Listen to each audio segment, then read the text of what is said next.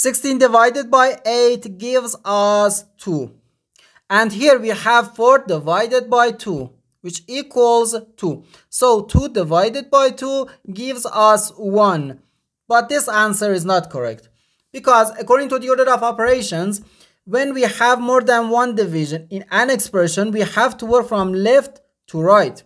So here, first we have to do this division, then this division, and finally this division.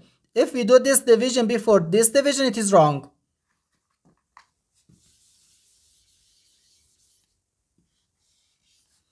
So first this division, 16 divided by 8, which equals 2. So 2 divided by 4 divided by 2. No, we have to do this division. 2 divided by 4 can be written as 2 over 4. Now 2 divided by 2 gives us 1 and 4 divided by 2 gives us 2. So we have just 1 over 2.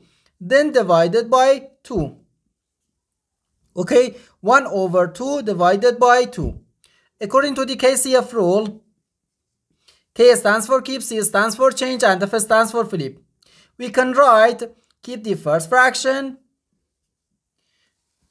1 over 2 change division to multiplication and flip the second fraction okay excuse me